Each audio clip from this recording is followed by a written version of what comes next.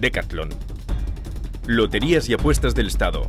Y Norauto, patrocinadores del equipo paralímpico español, les ofrecen Paralímpicos.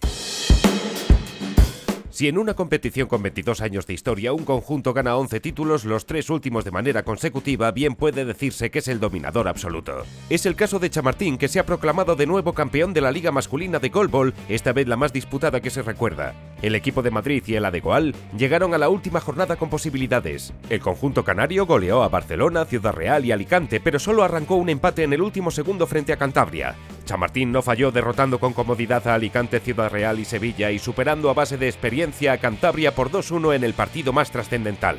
Con lo cual Chamartín se proclamó campeón con 33 puntos seguido de Adegoal con 2 menos, Cantabria con 23 y Barcelona con 17.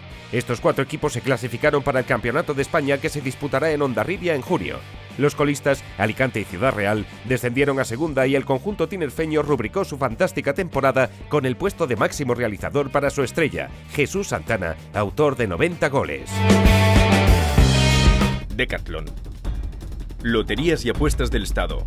Y Norauto, patrocinadores del equipo paralímpico español, les han ofrecido Paralímpicos.